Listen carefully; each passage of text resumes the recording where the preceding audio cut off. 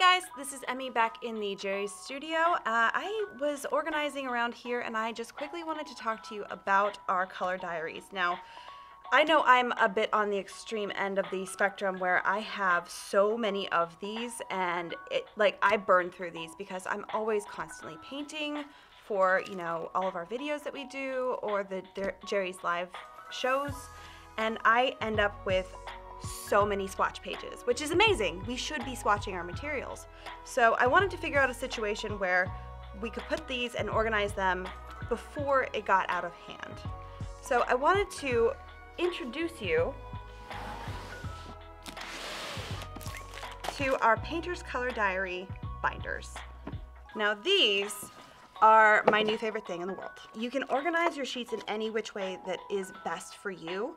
Uh, I've actually organized them in several different ways depending on how we work here around the studio.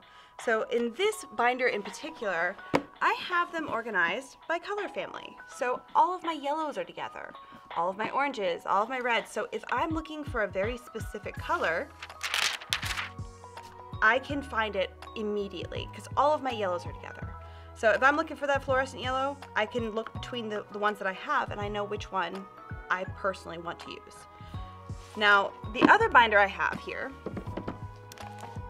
is organized by palettes. Now this one is a lot fuller because this is how I tend to work on an everyday basis. Uh, specifically, this one right here uh, on the top is my great white shark painting. This is something that I did here in Jerry's studio uh, for you guys to see our great white oil paint that we were coming out with. And uh, these were the palettes that I was trying to figure out which one I wanted to use. And so now I know which ones I happen to use in that painting if I ever need to touch it up or if I sell them, I can then move this to a sold binder and I can keep track of what I've used.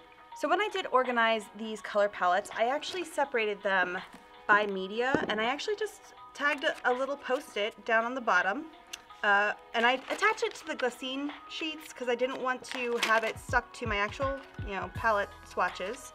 Uh, but that way I can move them around, I can add to it. Uh, if I get too many, then I can just take out the whole chunk, like all of my oils can go to a new binder, and then it can shift around and continue to grow with me as an artist. Now speaking of Glassine, now I know that the original books come with the Glassine sheets, but they don't come out.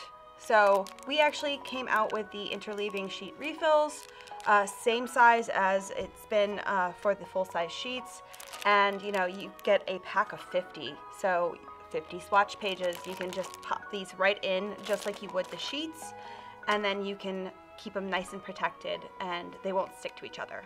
So this is a very sturdy box. It is archival, so you don't have to worry about your swatches lasting over time or what's gonna happen to them. Uh, but then on top of that, it can hold 40 sheets no matter if it's the regular size or the travel size. And then it has this really lovely labeling system on the outside. So if you were to stack this up on your shelves, not only can you find immediately the one that you're looking for, but it also looks really nice. Besides that, we do have a really satisfying magnetic closure on the other side. So it snaps itself shut and it holds itself shut to where you don't have to worry about it flopping open. So the beautiful thing with this color diary binder is that this right here shifts with it. So it will lay flat. So let me quickly show you how to put in a sheet into the binder. This is just one of the travel sets that I had created uh, for a video.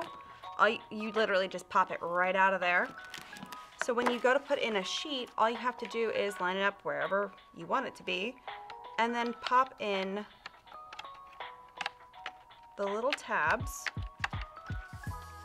Then take a Glassine sheet, because the ones in the diary are not removable, and then pop that right on top, and now it's nice and protected.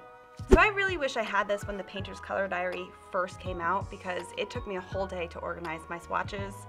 Again, I have so many. So grab your own Painter's Color Diary binder and happy organizing.